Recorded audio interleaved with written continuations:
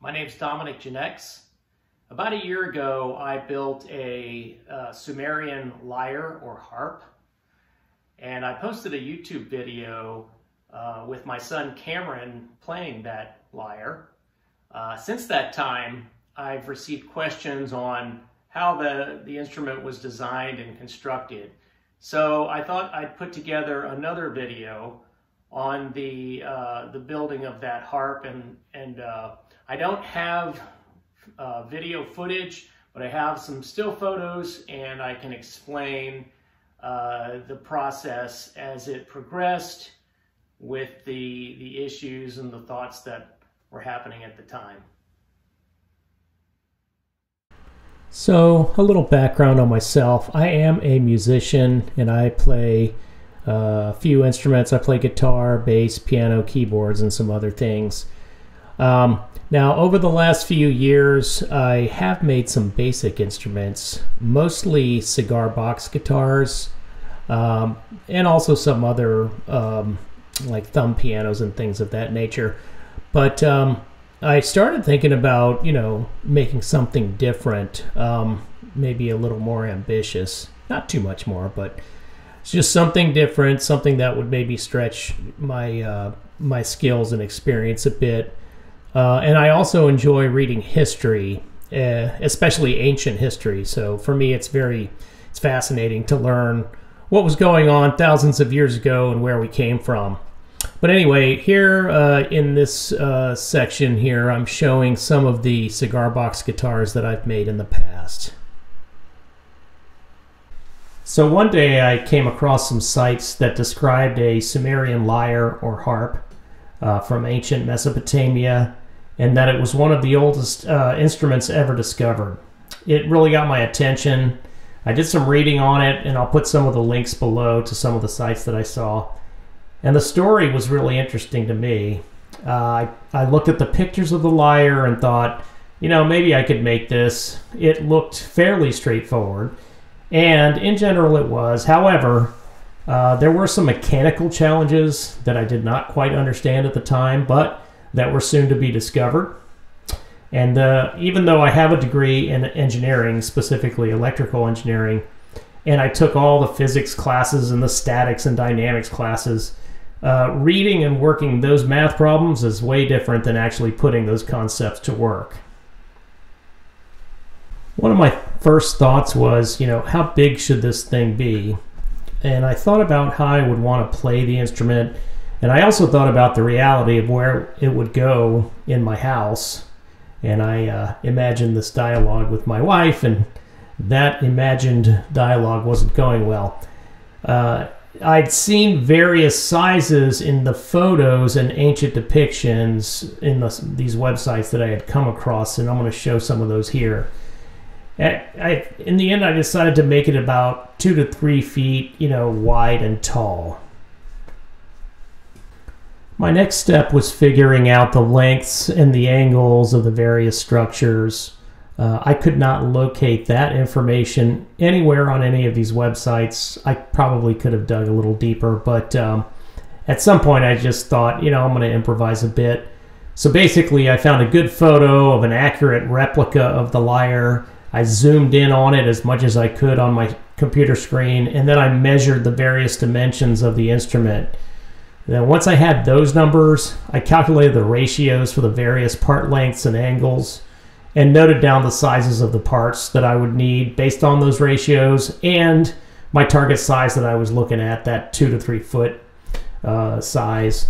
So then at that point, made a trip to the Home Depot to purchase the materials. Uh, I think I used their basic pine wood products. For the soundboard, I sampled several pieces of wood until I found one that seemed to resonate uh, the most when I tapped on it, basically with my fingernail. Um, in hindsight, uh, I might have gone with better quality wood, but honestly, the wood I used uh, really uh, has not had any issues in terms of breaking.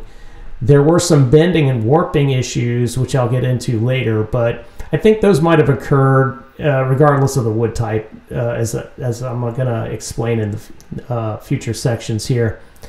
Um, I also bought a kitchen drawer handle uh, from Home Depot that would later be used as the saddle for the strings, which is not in this photo but can be seen later. And here I'm just showing the basically the raw wood parts uh, that I bought at Home Depot. The cutting, the drilling, the painting, and the assembling was straightforward.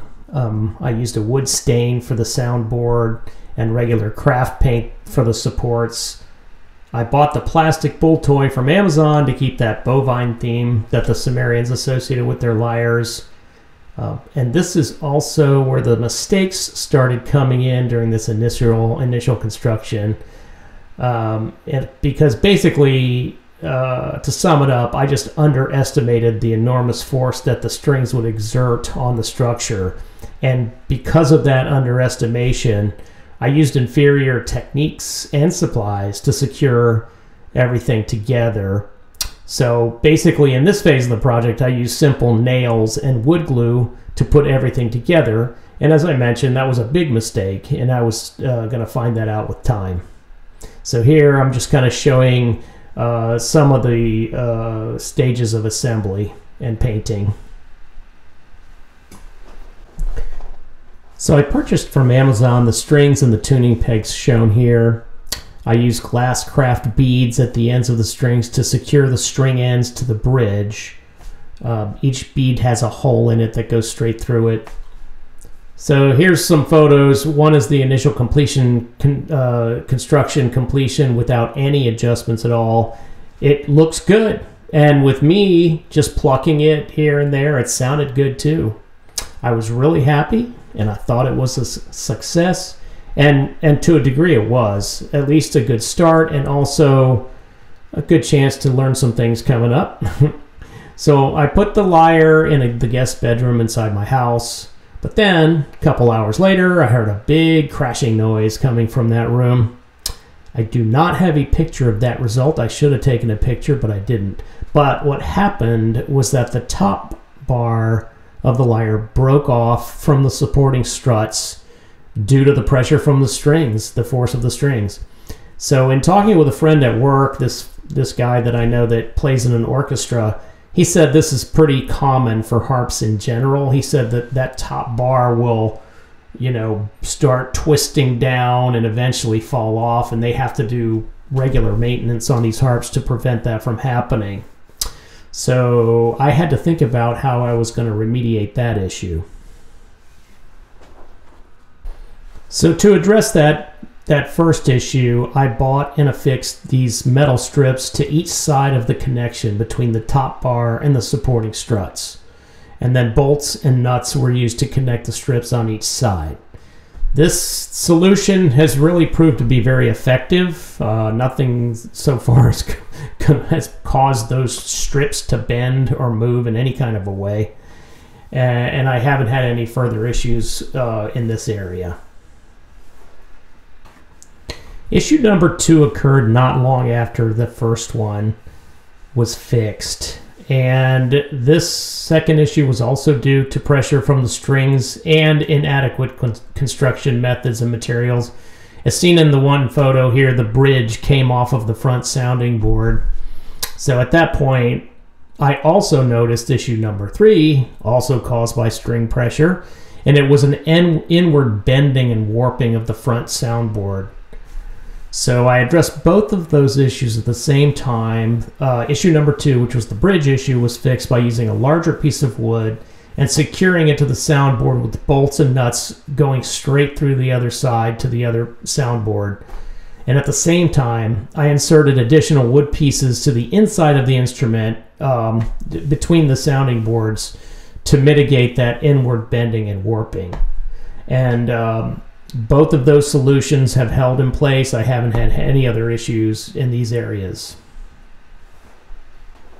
I don't have photos of issue number four, but it was also due to the string pressure and force, which in this case resulted in a general horizontal twisting of the entire instrument to one side. Uh, and in general, I noticed that as I fixed any particular one issue, that it would you know, generally cause other issues because of new forces coming into play.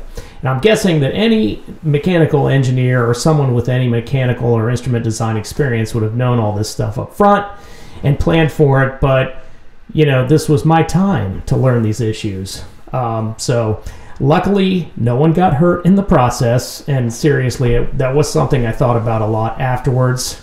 Um, but um, the fix for this particular issue shown here was basically adding support at the base of the instrument to counteract the forces that were causing the twisting.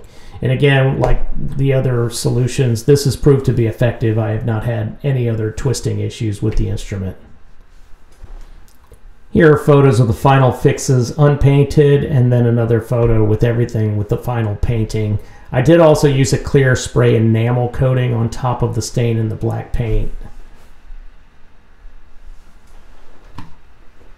So for tuning, there are challenges for figuring out how to tune these instruments that are ancient like this. Mostly since the translation of the musical notation is lost to the ages, uh, but uh, and of course there's no recordings of any of these instruments and no sound recordings.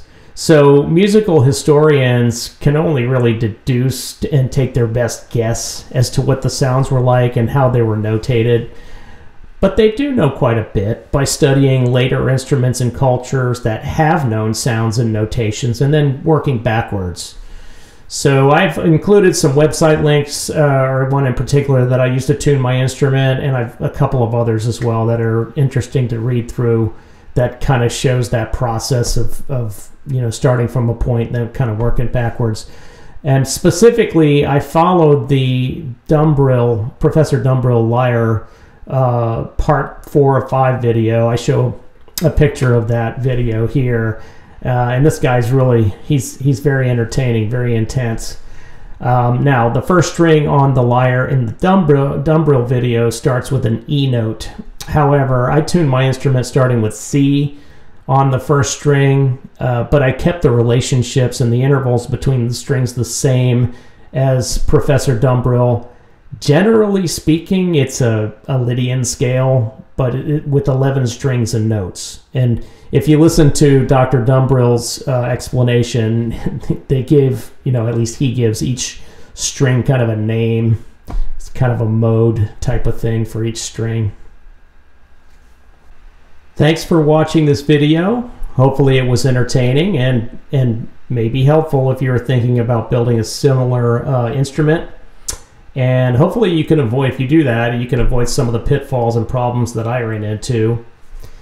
And here is another video of my son Cameron playing the instrument.